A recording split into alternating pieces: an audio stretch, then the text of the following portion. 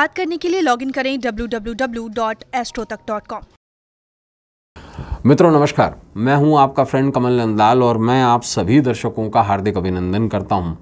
Astro तक की खास प्रस्तुति कमल नंदलाल के महा उपाय जो आपके जीवन को सरल, सुगम और सफल बनाए, सिर्फ़ एस्ट्रो तक पर। तभी तो आपसे कहता हूँ कि एस्ट्रो तक को लाइक करें सब्सक्राइब करें और कमल नंदलाल तो ये कहता ही है कि शेयर तो बनता है, क्योंकि आपका एक शेयर बहुत बड़ा काम करता है। आपका एक शेयर आपके जीवन में सुख समृद्धि और सौभाग्य तो लाता ही है। लेकिन इसके साथ साथ किसी दूसरे के जीवन से जो शेर को देख रहा है, उसके जीवन से दुख, दुर्भाग्य और दरिद्रता को दूर करता है। कितने बड़े पुण्य का काम करता है आपका एक शेर। इसलिए कमल नंदलाल ये कहता है कि शेर तो बनता है। और ख़ास बात क्या, अगर आप हमारी सेवाएँ लेना चाहते हैं, अगर आप चाहते हैं कि मैं आपकी कुंडली देखूँ, आपकी कुंडली का विवेचन करूँ, आप अपनी कुंडली दिखाकर कुछ प्रश्न पूछना चाहते हैं अपने ग्रहों की शुभता, अशुभता जानना चाहते हैं। कौन सा काम जीवन के किस अंतराल पे होगा, ये जानना चाहते हैं। आप वास्तु दिखाना चाहते हैं अपने घर, ऑफ़िस, इंडस्ट्री का। या किसी मुश्किल से मुश्किल, जटिल से जटिल समस्या में फंस गए हैं, जिसका सरल समाधान चाहते हैं तो सीधा आ जाइए हमारी वेबसाइट www.astro.tak.com पर। सीधा मेरे प्रोफ़ाइल पर आकर सर्विस सिलेक्ट कीजिए और मुझे कॉल मिला दीजिए। मुझे आपके कॉल का इंतज़ार रहेगा। तो चलिए बढ़ते हैं आगे। और कमल नंदलाल के महा उपाय में सबसे पहले चर्चा करेंगे आज के विशेष विषय पर। मित्रों, आज हम एक बहुत खास टॉपिक लेकर आए हैं आपके लिए। इस फल का एक खास टोटका गरीबी दूर करके बनाएगा अमीर। आप बोलेंगे, पंडित जी, फल खाने के लिए होते हैं कभी कभी भगवान पर चढ़ाने के लिए भी होते हैं कभी कभी दान भी करवा देते हैं आप। आज अमीर बनवा रहे हैं आप। बिल्कुल बनवा रहे हैं साहब। फल ही ऐसा है। देखिए और दिन खास है। दिन का बहुत बड़ा महत्व है। देखिए, रविवार पर जब कभी भी सप्तमी तिथि आ जाए तो उसमें भानु सप्तमी पर्व बन जाता है। भानु का मतलब स्वयं सूर्य, और इसे सूर्य सप्तमी भी कहा गया है। सूर्य सूर्य महापर्व भी कहा गया है इसे। और सनातन संस्कृति और पौराणिक ग्रंथों में भानु सप्तमी को बहुत बड़ा, अत्याधिक शुभ पर्व माना जाता है। इसका जो फल है, वो सूर्य ग्रहण और संक्रांति से भी, मकर संक्रांति से भी ज़्यादा बड़ा है। इस दिन सूर्यदेव के निमित्त व्रत, उपासना और उपाय करने से अत्याधिक पुण्य प्राप्त होते हैं। पौराणिक मान्यता अनुसार भानु सप्तमी सूर्य ग्रहण के समान प्रभावकारी मानी गई है।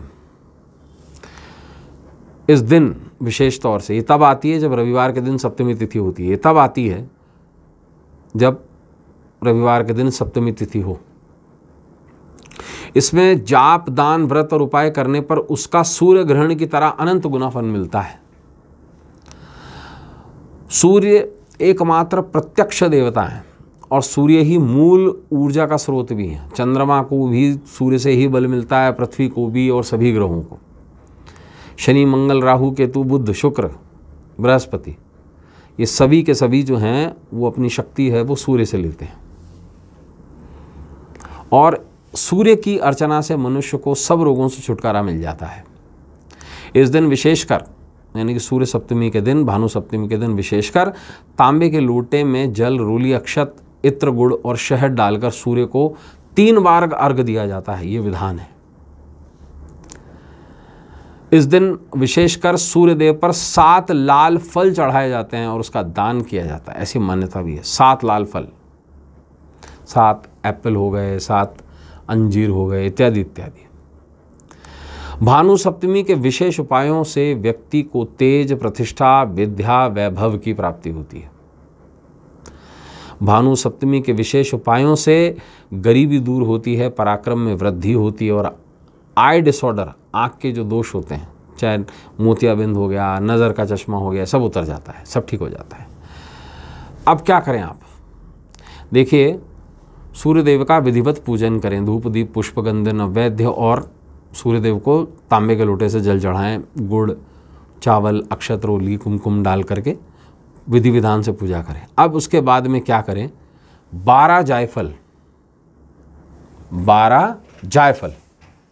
ये हाथ में ले लें और सूर्य देव को दिखाएँ। जायफल एक बहुत आम मसाला होता है। जावित्री भी उसी का ही एक पार्ट होता है। तो इस जायफल को ले लें और बारह जायफल अपने हाथ में लेकर के सूर्य को दिखाएँ और एक विशेष मंत्र का जाप करें। ओम भुवनेश्वराय नमः। आदित्य हृदय स्तोत्रम का ही पाठ है। जी हाँ ओम भुवनेश्वराय नमः।